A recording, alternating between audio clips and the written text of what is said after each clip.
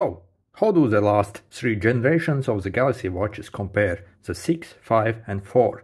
So, if you actually go to some online reviews and watch some uh, videos from the big channels, they will try to uh, convince you that these are completely different watches and there's so much huge improvements over the, uh, from the 4 to the 5 and fr from the 5 to the 6.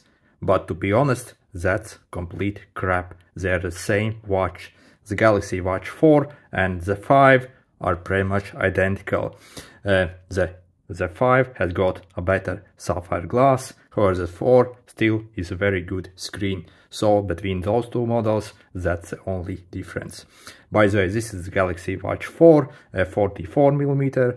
This is the Galaxy Watch 4, sorry, 5, 40 millimeter. And I also have used the Galaxy Watch 6, which I unfortunately do not have in this video. So sorry about that. But I returned that watch because there's even less of difference between the Galaxy Watch 5 and 6 it's completely ridiculous. They're exactly the same watch. So let's explore. And also this is not even a bad thing because uh, the because you get a very good support and updates on the Galaxy Watch 4 and 5 so you can use them for a very long time and they won't like uh, drop out of any uh, software support and you will still be able to use them for a long time. And I actually applaud Samsung for keeping and updating these watches. So all these watches 4 5 and 6 have the same Wear OS system and they look exactly the same and all the functions on them all are the same. So uh, on the Galaxy Watch 5 you also you I mean they're exactly the same. So when you check check them out all the systems all the apps they are exactly the same. On the Galaxy Watch 6 uh, for some uh, system menus they have changed the uh, animations a bit like when you for example go through these uh, animations the screens they have just like changed the look of icons a bit but the functionality is identical. And from my experience all the sensors are the same.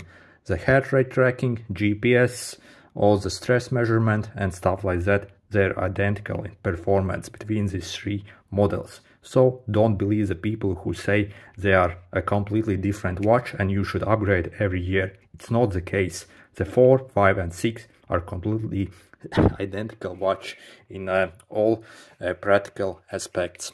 So let's check the 6 and let's check, actually, uh, sorry, let's check the 4 and uh, let's see just how great features it has. So it has all the exercise tracking, all the yeah, all the basically health health tracking, all your stress tracking, your sleep tracking, uh, yeah, sleep. Also, you can measure your like body composition here as well with this watch.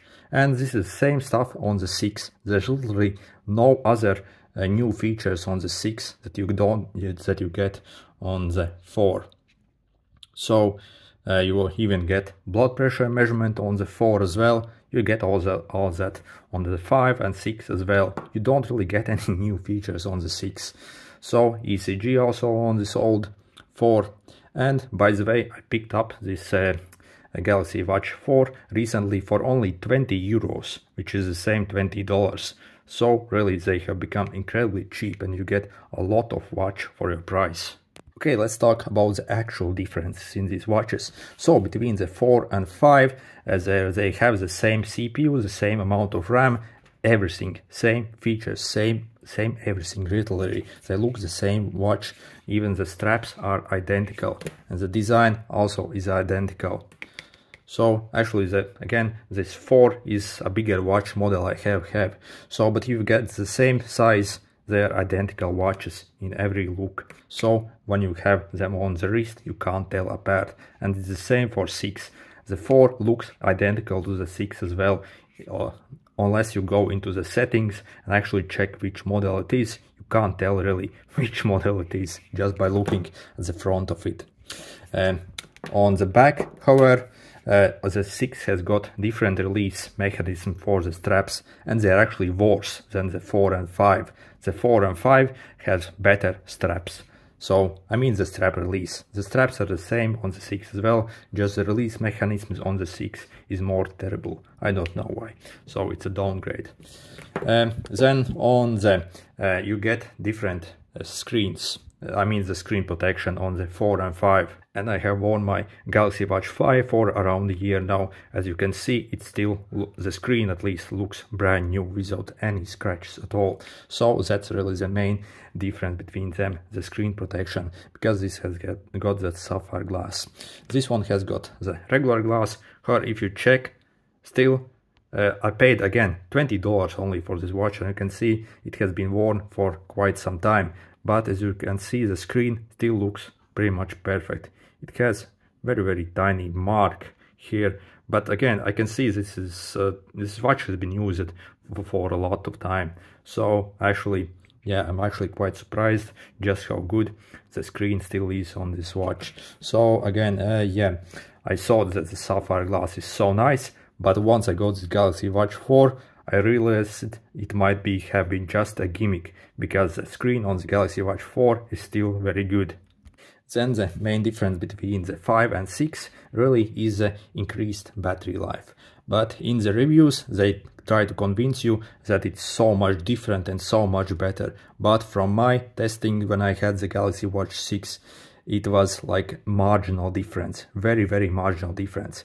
By the way uh, know that the samsung actually updated wear OS to the latest one on all of these watches the 4 5 and 6 the battery life on the 4 and 5 increased dramatically basically. And i think uh, on the 5 and 4 actually the battery life compared to when these watches were released they almost increased twice so yeah you still get extremely good battery life on the 4 and 5 now uh, uh, due to them upgrading the OS systems.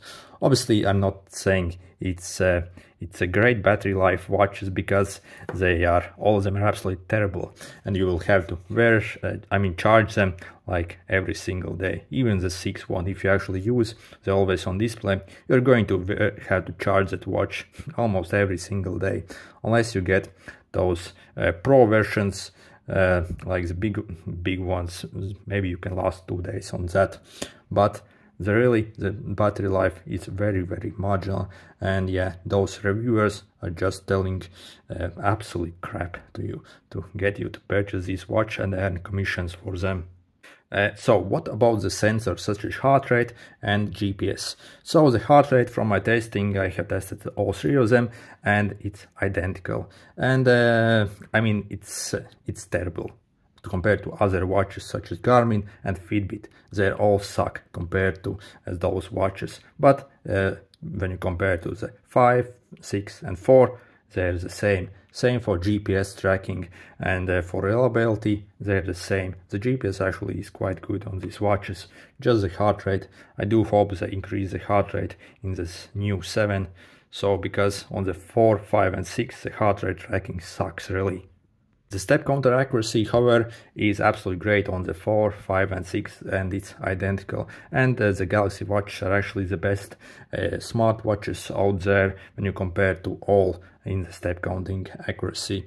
So I haven't worn these uh, for the same amount of time today, so it shows different, but I when tested they're the same and the best in the class. They completely beat Apple, Garmin and Fitbit the Samsung watch in the step counter accuracy and by a large margin these are super accurate.